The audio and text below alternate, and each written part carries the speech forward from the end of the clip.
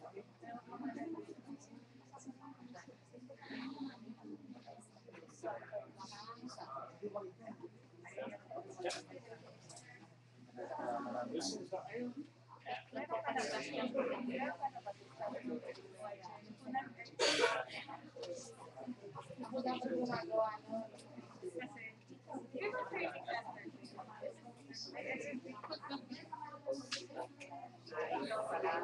uh, good morning, everybody. Uh, I, I think, I'm not hundred percent sure, but I think this may be the, uh, actual first seminar that we have in the completed version of this room. Uh, so I have the pleasure of, of inaugurating a new conference space. Um, so, uh, today we have a division seminar, uh, from Khondoker Mottaleb, who I, I'm sure many of you already know. Uh, he's been with IRRI now for about two and a half months, and he's been given kind of an impossible task that he had to jump in uh, and, and take some of the work left by Axel Tonini when, when he moved on to another position in, in a very challenging project uh, called the uh, Global Futures Project. It's led by IFPRI, and they have a very ambitious set of uh, deliverables in a very short period of time. Uh, so he will uh, present some of the work that's been done under that project. Um, it is something that they have tried to do very, very quickly, so I think there's still a lot of opportunity for feedback on the work that they've done. Uh, that has been under a team led by Sam Mohanty. Uh, Khondoker, just as a little bit of background, uh, he was with the uh, National Graduate Institute for Policy Studies. Uh, he, he did his master's and his PhD there, and he also uh, continued as a postdoc. And uh, prior to that, he, he spent a decade with the Bangladesh uh, Public Administration Training Center. And he, his prior work has been on the, the garment industries, uh, the handloom industry, um, handicrafts, and uh, non-farm rural activities. So he's actually just jumping into agriculture as well, so he gets a very steep learning curve. Anyway, uh, without further ado, I invite uh, to, to give his seminar.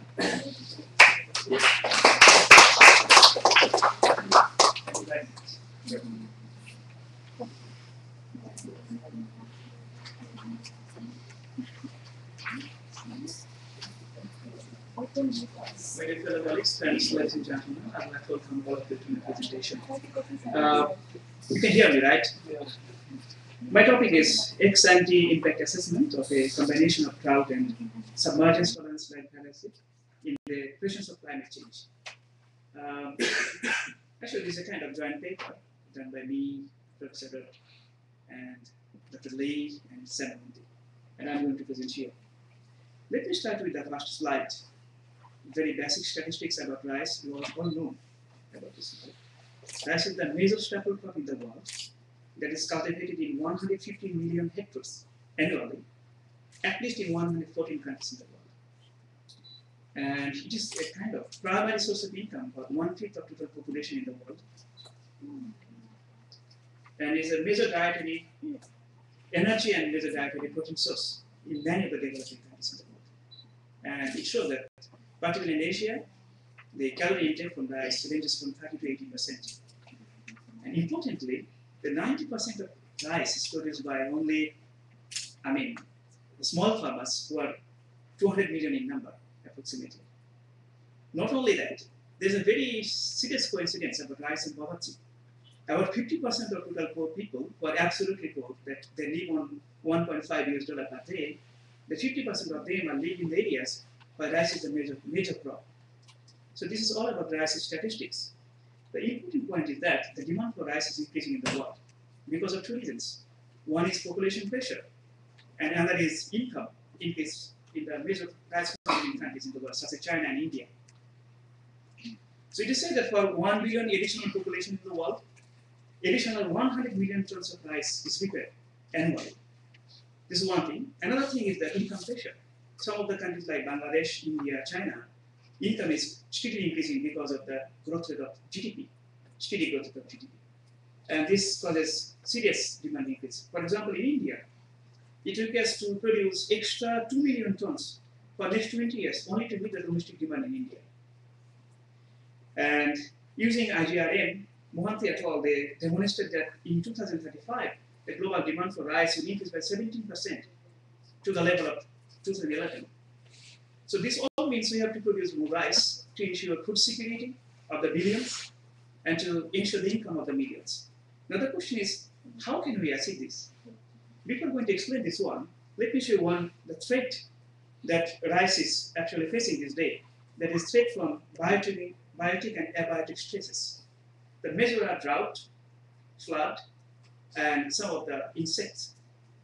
And this thing is further aggravated by the changing in the climate. I'm going to show it later, but let me show you one thing. Just how climate change can affect this thing is shown by the Stern Review of Economics on Climate in 2006. They have shown one graph. That if global warming increased by one, 1 degree to 3 degree, 3 degrees Celsius in the, in the globally, then this will significantly increase the number of storms, drought, and flood.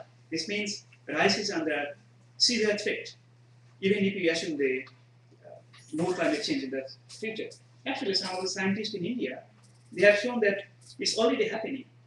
For example, in India, in 1965, only three major insects were found. I mean, in India, but in 2011, they found that 14 kind of major insects in India. Another one thing to show you that the precipitation rate, because of climate change, it's shown that from 1870 to 2000 until 1950, the annual rainfall in Chhattisgarh, one of the provinces of India, was normal. But you can see from one, 1950 that it is below normal. I mean, most of the cases, precipitation is decreasing. So these are all the scenarios that relate to the climate change probably. The question is, let me sum up these first two slides. The demand for rice is increasing in the world and it is the major staple crop around the globe. But the rice is under, the productivity of rice is under severe threat because of climate change and because of biotic and abiotic stresses, which might be further aggravated because of climate change. The question is how can we face the challenges? How can we ensure the food security of the billions and income of the million of poor farmers? Maybe one of the important ways to build more climate resilient varieties that we can what can sustain in the extreme climate scenario. There's more drought, which can resilient to more drought, more flood, and more uh, stress as well. And by doing so, we can reduce heat loss, we can ensure sustainable income for the poor rice farmers, and we can ensure food security. In this case, I would like to mention that we don't deny the development of high yielding variety, I mean super high yielding variety, but the experience shows that that such kind of variety is only, I mean, effective only in the favorable conditions, that is in the irrigated conditions. Maybe that kind of variety might not be sustainable in the case of global climate scenario, which predicts more flood, more drought, and more natural extreme events. But the thing is that the development and dissemination of that kind of new variety entails cost. I mean, the cost of research, I mean, laboratory research, extensive field trials in targeting countries, and the dissemination of that kind of variety, maybe through government or from NGOs or from private institutes. But the main point is it requires cost. The question is, we must examine the benefit and cost of that kind of development of that kind of variety. And what might be the net benefit, how it might change the consumption and production pattern of a country, of a region, of a targeted region, and what might be the cost. Whether it is worthy to take that kind of investment or not, or that kind of not, that might be examined. The prime objective of this paper, I mean, what we have done is to examine the ex ante benefits and impacts of breeding and disseminating a new drought and flood tolerant variety in South Asia. This is pretty ex ante because this variety is not yet in the hand of farmers. And why we choose drought and flood and why we use South Asia, I'm going to explain in the few, few more slides. Let me start with the why drought and flood. Actually, drought and flood are two of the notorious uh, biotic stresses that cause, causes significant loss around the globe. And that is the major culprit of volatile income of the four farmers. Around 43% of total rice farmland in the world is irrigated, I mean, rain-fed rice farmland, and those are exposed to drought and flood. And out of 43%, around 38% of the area in the world is affected by drought.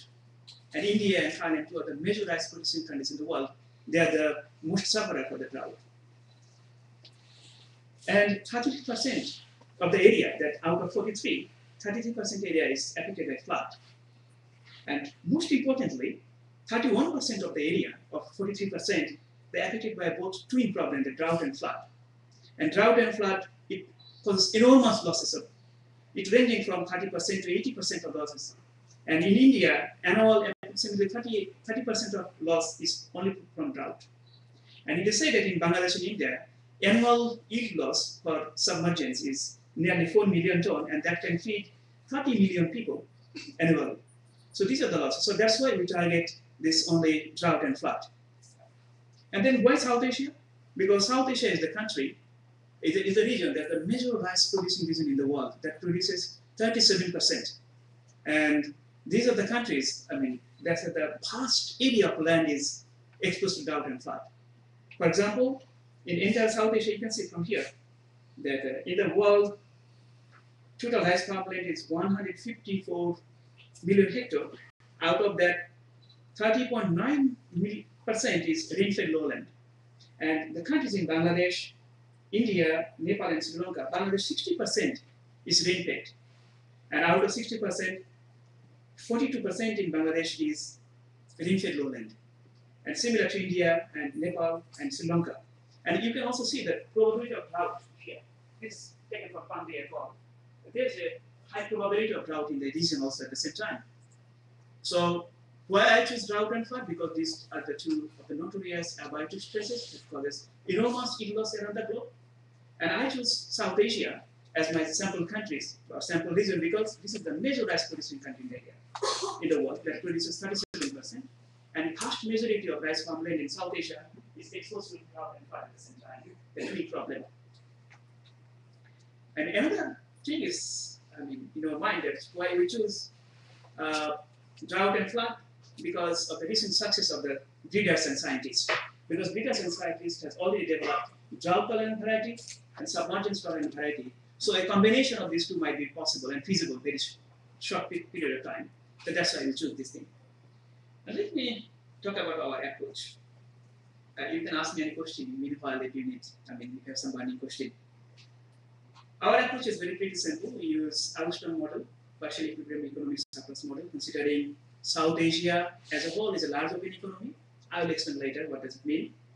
And Bangladesh, Nepal, and Sri Lanka as a small open economy. In this case, I exclude Pakistan because Pakistan, according to FAO data 2006, that all 100% area is irrigated.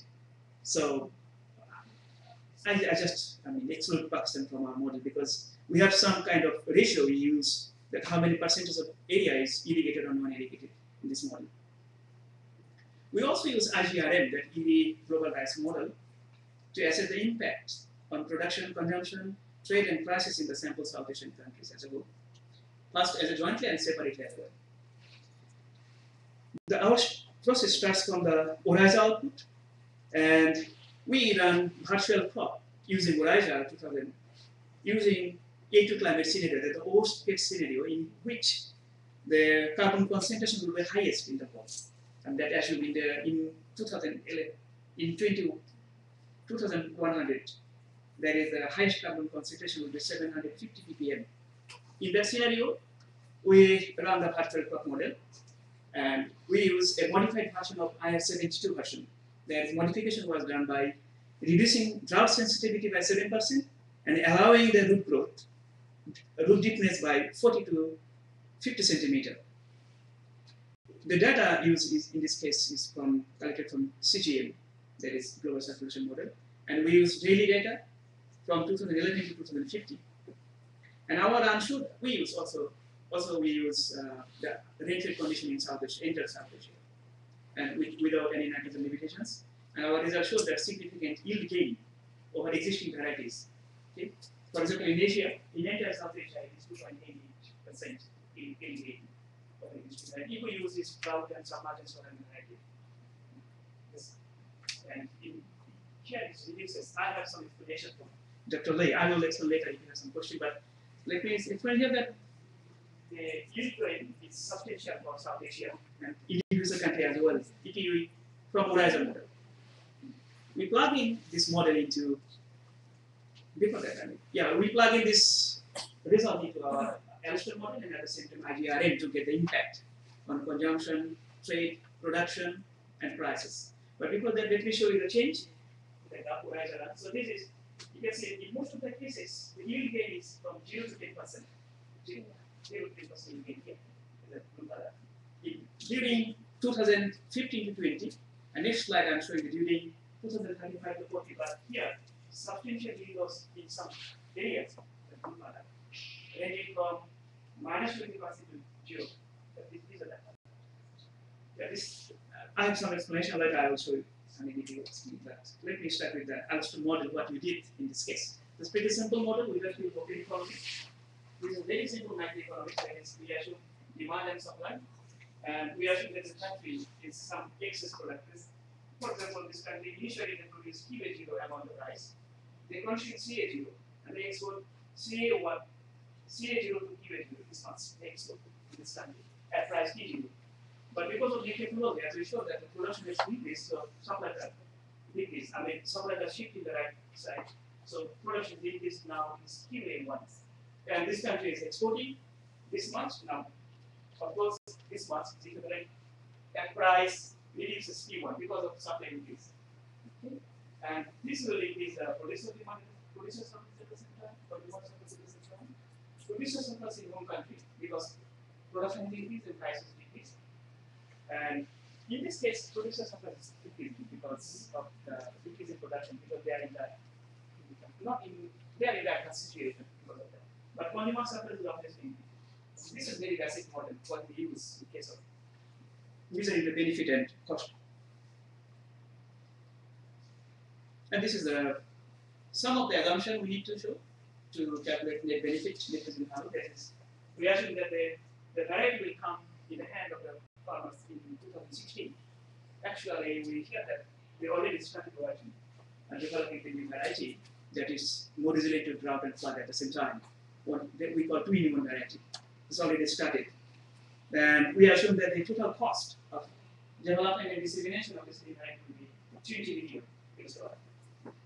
I mean, in South Asia. And we assume that the probability of success is 80%. And we, we got some demand elasticity and supply elasticity because obviously how much a country will export and how much a country will import depends on the elasticity. And we got this from IGRM model. And here we also assume that the production cost will have to two year. The cost of production will increase a little bit because of the yield increase. Because earlier it was let's say washed out by flood, but now it will, it will be not. So we assume that the labor cost will increase at the same time. We are not in, including the efficiency of water use or those things. So assuming all these things, we calculate net present value at five percent discount rate. It shows that India one billion, Bangladesh one two billion, and then Nepal landed. Sri Lanka is very low, and I have some explanation and I have some policy implication for Sri Lanka. But overall, the net present value is significantly high for these countries. If they, are, if, I mean, after adopting the new factorial variety, with very high and reasonable internet IRR. So, yeah, and we also did some kind of sensitivity test that uh, assuming the probability of uh, drought increase, there's a probability of success increase, and there's a uh, the discount rate has increased to 10% like that. And in all sensitivity cases, and in all the analysis, they show that significant in, the form of net present value. Uh, in case of Sri Lanka, actually, it's a very pretty small country, and only 25% of land area of Sri Lanka is exposed to drought and flood according to FAO statistics. So that is one of the reasons why Sri Lanka uh, shows a low IRR. so in this case, I think the role of international organizations like IRRI might be important because these are small countries, small proportion, but actually those areas seriously inhibited by many poor people. So maybe international agency can play a very important role in this case. Let me show you the IGRM. So in using IGRM, we have shown here the changes in production. What will happen if we use or if we don't use the new variety? Okay. So this is the difference. It shows that production in India will increase by 3.9% if the if the new varieties are available in India. And in Bangladesh, it's 5.28%. Consumption will also increase, and the price will decrease. So this means a decrease in price because of the variety. It means poor people will be more affordable. Uh, it will create increase the affordability of poor people to the rice. So it have significant, it might have significant impact on the health status of the poor people, at the same time nutrition status of the poor people. And I also show one stunning thing here. That is about the trade. So you see Indian export will increase by 8.16%, but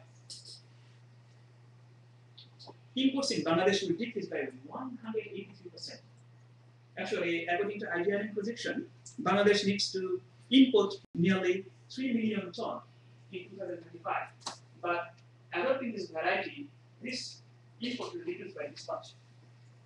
And most important part, the Sri Lanka, it will turn out as a surplus country, rice surplus country. Of course, not net exporter because such a small amount is, and also significant. In total, the South Asia import will decrease by a significant amount. So this is about this, and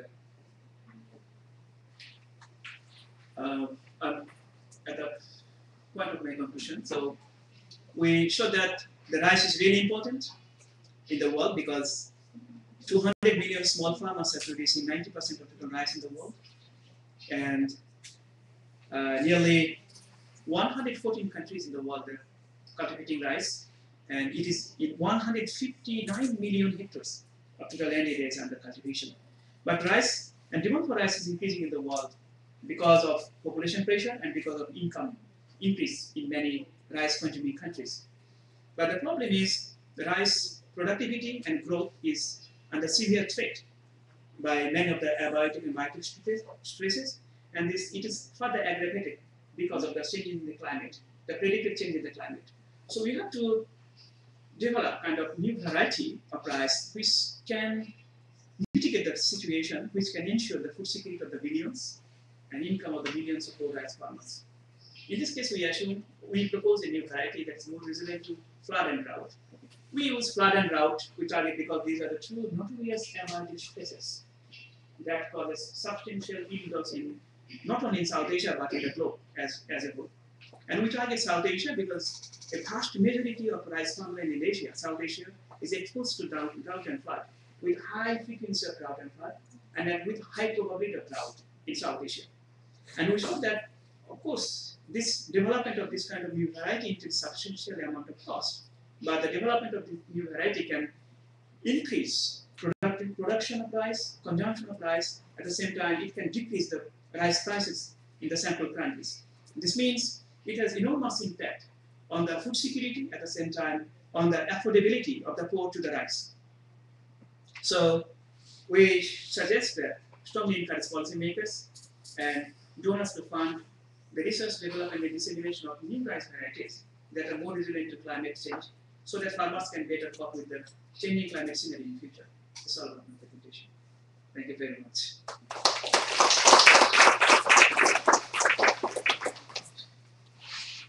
Thank, thank you uh, for that. Um, actually, I'd like to just ask big, oh, ask the opening question, and then I'll, I'll open it to uh, questions from the rest of the audience.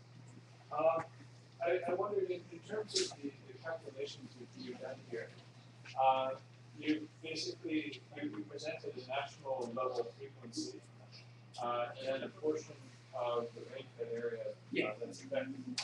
In any given drought year, only a portion of the, the actual drought prone area It's not that the entire prone area in the country is affected by drought within a drought year. Especially if you're dealing with countries that as big as India, where there may be you know, huge differences in different parts of the country. Um, so, so I wonder if, if that might be something uh, that could be a potential cause of overestimation. Uh, the, the other thing is, um, wasn't, it wasn't clear when you, you did the run uh, with three percent gain, uh, to what degree you masked out irrigated areas, uh, deep water areas, also within the rain-fed environment that would uh, be drought prone, uh, and only run it uh, for those areas that are uh, predominantly upland and rain-fed lowland where drought would be presumed to occur. Um, because that again also may be a cause for, for some overestimation. Then, then the third possible also cause of overestimation is if you converted this from a J shift to a K shift using the Alston et al. formulas, because you divide by the supply elasticity. And if you talk to someone like uh, Phil Pardey, he would say that you should never use a supply elasticity of say less than 0.5 uh, in, in making that, that shift, uh, that calculation from the J to the K shift because things explode. Uh, because you divide this, your, your J shift, the supply shift, um, by uh, the supply elasticity. So if you say you have a, an elasticity of 0.1, you, you multiply it tenfold uh, in your, your K shift. And I, I just wondered whether, uh, in, in terms of when you've gone through a J to, from a, a J to a K, whether you've uh, taken that into account. Yeah, um, thanks for that. Actually, let me start with the first answer. That um, area. So we try to locate which area is really prone, which is drought prone. I went to GIS, but they don't have any data. So I end up with the, the area which is yeah. I, I tried. I tried to get this information from GIS, but I don't have. There are people. There are, there are some of them that suggested people see some, some kind of website, there's some way that I have. So what I end up with, meetings. It,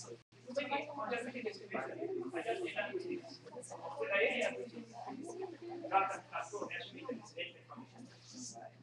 So, it would be great if I can exactly look at, exactly get area, which is dark and that can be actually, we are trying to. And hopefully we can get this one. Second one is the elasticity. So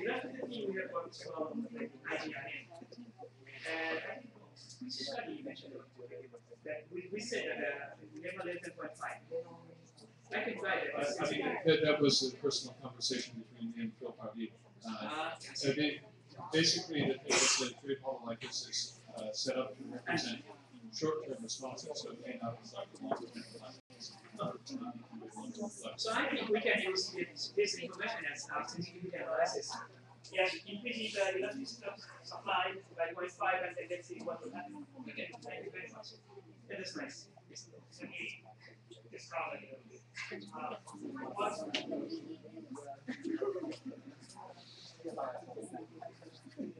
Okay, Uh, on the question on the probability of, of drought, your question is, uh, for every year, not all of the drought prone area is actually affected by drought, that's correct, uh, in a drought year. So what, what we did is actually in the K-shift formula, add a probability of drought flood to sort of mitigate it, that's where, that was her suggestion to me actually, so we, we did include that to make it, so the expected value of a benefit is tempered because of the probability of drought and, and flood not hitting that particular area in a particular year.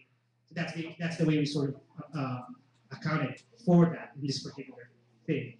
And then, uh, we appreciate that comment on the K shift because actually, we did just follow the Alston model dividing by the supply elasticity. But the problem we saw is that when you incorporate the actual K shift to the IGRM model, things explode. And, that because of that, yeah, because of that. And so actually in the case in the IGRM model, we sort of just followed the the, the exact yield gain from from from Kyle's runs and then just uh, weighted it by the probability of drought and by the area, uh, the rate of adoption. So that's why the IGRM didn't explode using some of the data that we used in in the uh, the surface model. Yeah, I just add one, one point, just something that, that needs. I, I would say that the GIS lab does have data on, this. Uh, and, and we, we actually are, also worked with, with, uh, uh, with the GIS lab in part to put together some of the data on this. I mean, basically, you need three parameters. You need, uh, the prone area for the stress. Uh, you need the frequency of the stress, and you need the average proportion of the prone area affected in the years when the stress occurs. Those, those are basically the three parameters that we need. So even if we have a rain-fed lowland environment, uh, fifty percent of which is, is uh, drought prone.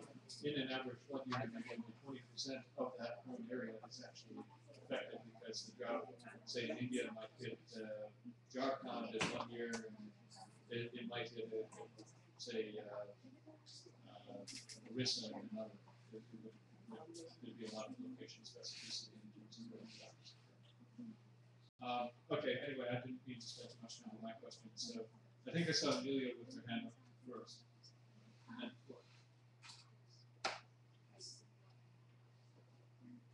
I just wanted to mention one thing about in the name of uh, okay. Uh, just from the perspective of I think taking in factors to try to not overestimate. One thing about I think most of the drought QTLs that are being developed at IRRI, um, to my knowledge, most of them show an increasing effect with increasing severity.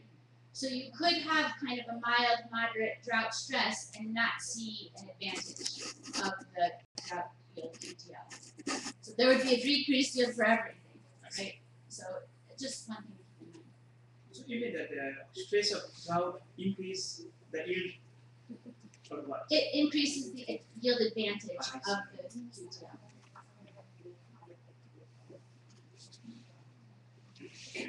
Uh, my interest actually is about the predicted yield we use from the ORYZA model. Can you share us uh, the rationale behind the assumptions you use? Uh, you can show us the assumptions. Why is seven? Why is it seven percent? Why not five percent and ten percent? And was there an additional assumption for flooding when you do uh, the prediction for two-in-one variety? Actually, the guru is here. I mean, is here. so, um, basically, we use ORYZA and we use CCM climate data every year, uh, big part day, and uh, we use different scenarios. So that's what I can explain. But why 7%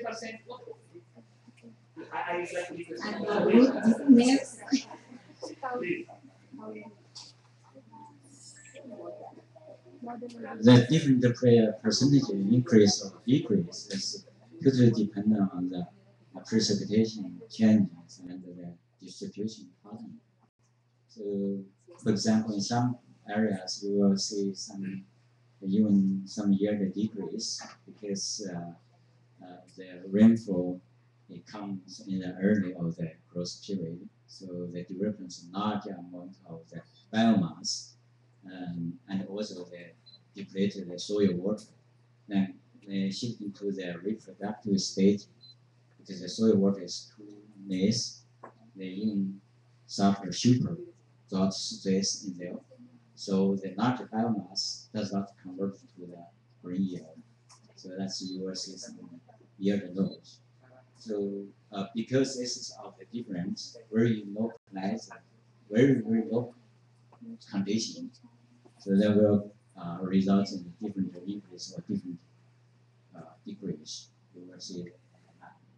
So uh, uh, we, we see the map in the north north part of, of the South Asia. Normally it gets low healing.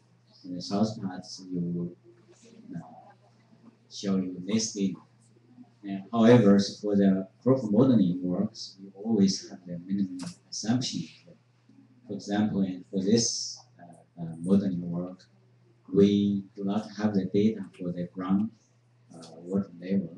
So we just assume all ground water level is below the 2 meters.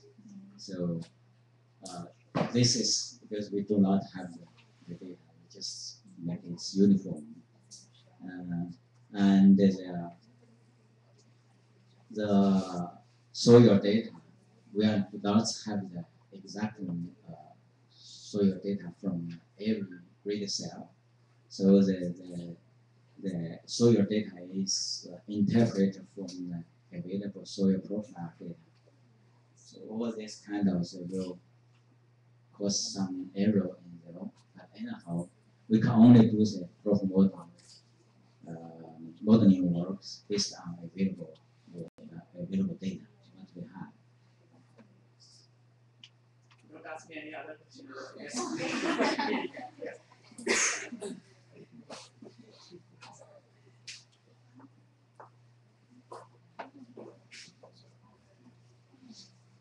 Uh, are there other questions? Okay, let's- Yeah, or you can talk about it, yes. I just, uh, I want to make sure that I understand you correctly. Did you mention the area change because it goes to two thousand fifty or even two thousand one hundred, that's a very long time ago. Then you talk about the years again, or how about the area change? Actually, we just use the area presently using for press cultivation. So that means the is the area will not change Exactly. Yeah, that is. Uh, how do you, how do you define flooding? Flooding, right? Because is, is this the cyclone affected flooding or the typhoon? Maybe we the use, actually, in our paper, we didn't mention, but we use flash flood. The. It's not a cyclone, so just flood from the monsoon rain. Yeah, that's, so that's why, in- that's why we use the word submergence, you know. If, if, even if the submergence people hear or not, I don't know. Even if it goes for fifteen days, then, right, Yeah, then not, the, so, the flooding should be, uh, Yeah. predictable because, uh, there is a certain duration that, that the crop can withstand. But Yeah. more than that one, it will die. so we are just proposing that there are some areas in the world that, that faces twin problem at the same time, drought and flood, that's it. Okay, and we're targeting that area, that's thirty percent of the total area of the that's in the world. Yeah, I think we do, uh, have to be a little bit careful because there is some, uh, microsite specificity, when we're, when we're dealing with areas, uh, for sub one, its, its primary effectiveness is based on river flow. So rainfall inundation tends to either relate to, result in a flood event that's too short for there to be yield advantage, or it's in an area where you have water logging and you get stagnant flooding, so it's too long. So the primary effectiveness of, of sub one is really where you have uh, flooding that comes from, from the rivers upwards. I see. Now, in the places right next to the rivers, those, those kinds of microsites, they're also relatively favorable rain-fed lowland. So the actual drought, drought uh, proneness of those areas may not really be that high. So I would be very, very skeptical about that kind of figure when you start to look at the specificity of the kind of flooding that sub one can confer elements for. Uh, maybe if we're talking about stagnant flooding, we could, could start talking about other kinds of numbers. But at least in, in that's what we've observed in, in our experimental implementation in, in Orissa and West Bengal. Um, okay. Yeah, yeah, I can, can I just, uh, can you just go back on table five, I think, Which paper? I think five.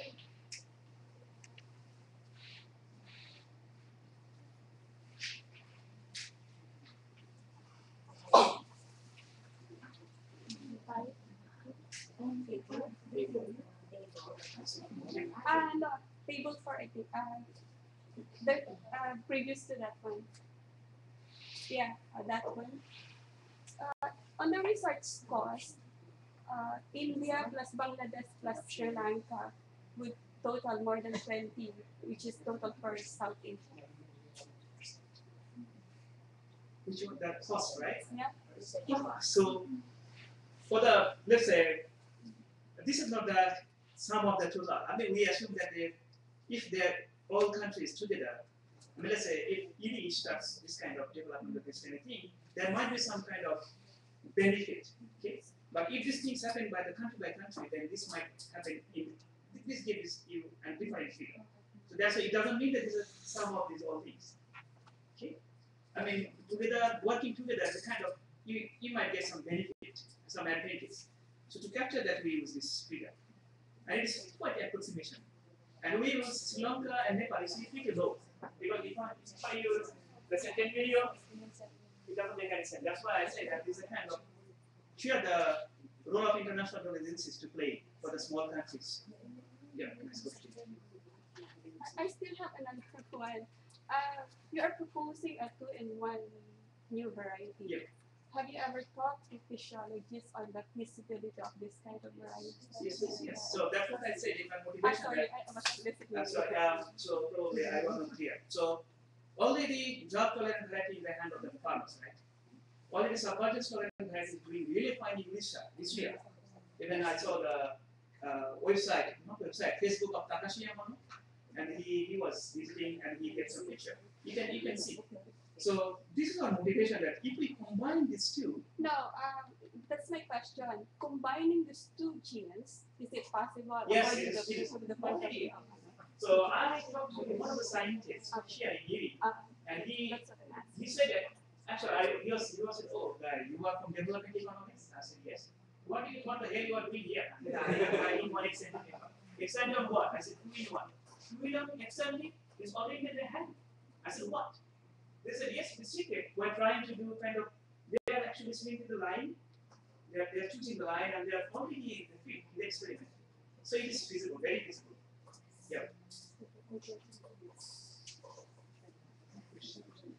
Okay, are there other questions?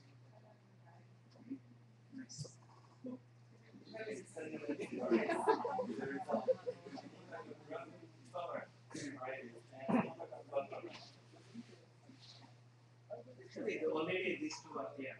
So this cannot be ex it must be ex post. Because router and that is already there, right? Have. But this might be another That's what David is doing, he's ex post, no, that's why we're doing it actually, there's not a whole lot of ex post data here. So already in the hand of the farmers, okay, the router and and submerged society. So it might be ex post study. It, it, it hasn't been in the hands of farmers for very long. So the, uh, in, in terms of uh, sub one varieties that were released in two thousand nine, so we're still in the early part of the adoption curve. So, uh, what we can do is we can do, we can do ex post impact evaluation to see what the effect is on farm. Uh, but in terms of knowing, you know, the, the full aggregate impact for ex post impact assessment, we have to wait until uh, further along, uh, the diffusion curve. Um, so, but right now we're in the process, we have a randomized controlled trial on, on one, uh, that's happening in eastern India. So that should give us uh, robust information. We, we have other trial-based data before, but, but this should be a much more uh, accurate picture. In terms of Sahbhagi Dhan, that would be the first major recent drought tolerant innovation. And I believe that was just approved for release, I think it was two thousand eleven. I'm not, Amelia is probably incorrect. Two thousand ten, late, uh, late two thousand ten, yeah. Late two thousand ten, so it's only been actually released for one year. Yeah, uh, I understand that it's the technology standards that we have. In the pro- in the process. And we use your GM papaya paper. We not even started. There's, there's been work trying to put the sub, the drought to the, to the sub one, that's what our bid, uh, that we trying to drought the big saying. They're, they're currently studying how to put the PCMs in the sub one. So the twenty sixteen is a reasonable target. Yeah, yes, yeah, it's from him. He's the one who said that. That should be.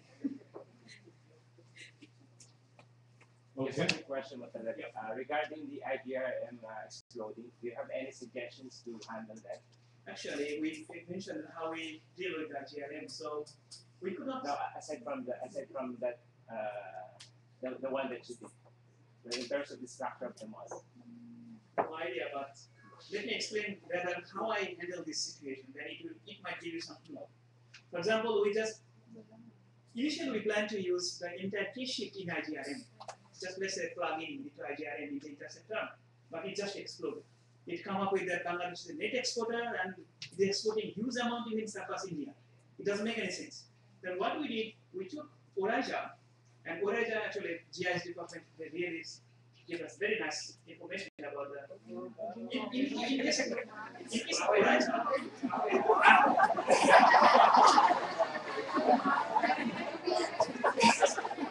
Oraja, uh, that twelve percent And then, in every parcel, we have information.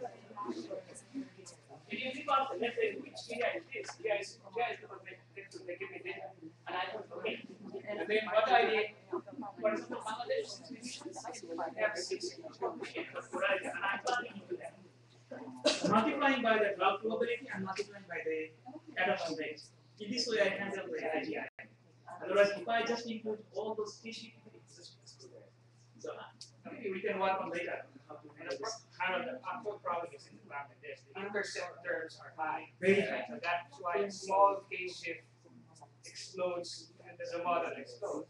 So, but again, the question is how reliable is your estimate for your yield percent? That's the question. The other is what David was saying that the patient itself, because we use the ones where it's divided by the bias, may have something to do with it. But- but Again, the question, I'll, I'll put the question back to you, how do you estimate the, the, the yield? How reliable is that? How long of a time series were you used, uh, was used to estimate the yield intercept in your yield function? Yeah. Not a long time, I. Yeah, yeah, thanks for mentioning that. That's the reason why I, I raised this question, because, uh, maybe we need to improve our model. Your parameters and it's, correct. Are you planning to you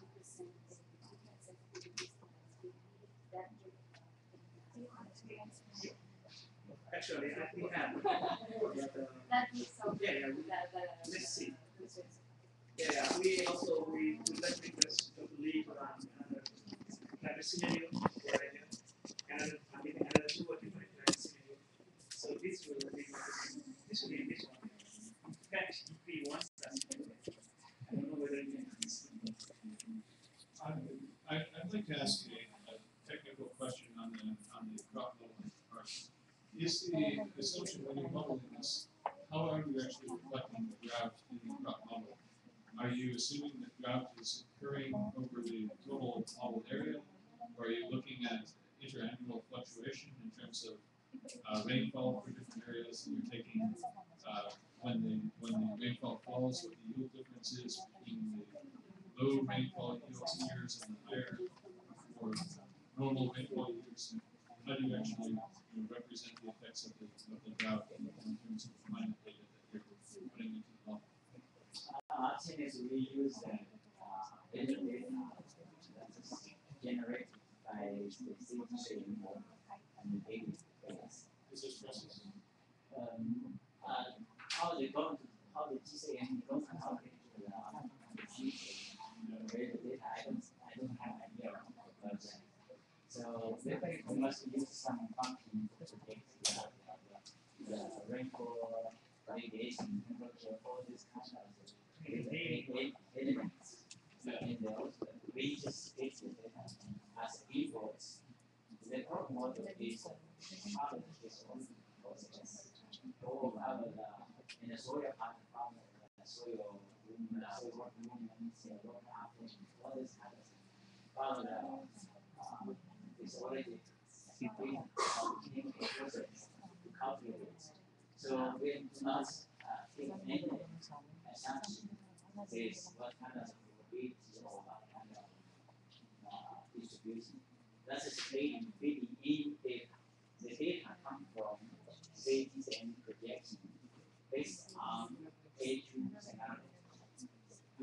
Uh, yeah, I, I, that, that uh, I understand. I guess my question would be, uh, how are you isolating the effect of drought from other factors in those runs?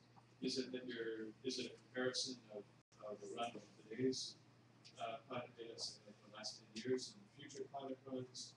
Is it that you're comparing between, for each uh, pixel, kind of the, the normal rainfall year and the rainfall deficit year? How do you, how do you isolating Yeah, they actually for this one, we have the two watch, watching, um, uh, variations, you know. One is this one, Okay. one is that we supposed to give some improvements in the cross tolerance. We compare those two. So running, both- running, both variations for the same surface are the same condition. Then if this is what is the big, uh. But it would be possible if one wanted to, to run it so that you only look at the pixels that have a rainfall deficit and you're looking at the effects there. That's possible. Then we- Because that would be a better, better way of, but using the data you already have, you know, estimate only the, the drought effects and the Yeah. Yeah, that's what we, we needed no time to say that one pixel. Okay, uh, I, I think that rounds out the questions. Um, I thank uh, Mottaleb for the seminar, I think we've had an interesting uh, discussion today. Uh, it was nice to see in this seminar that we had plenty of time for discussion and questions. Um, and so I thank everyone else for attending. Thank you very much.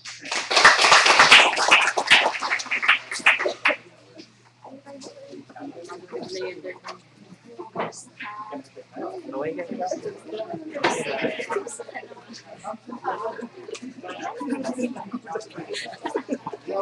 wala na lang mga niyan. Ang sa akin to, ha? Ito? Dito lang ito. Bago. Bago. Nakalimutan sa sumoy. Kita kita ako? Pwede sa sumoy. Sumoto mo mo siya. Tigil siya dahil yan eh.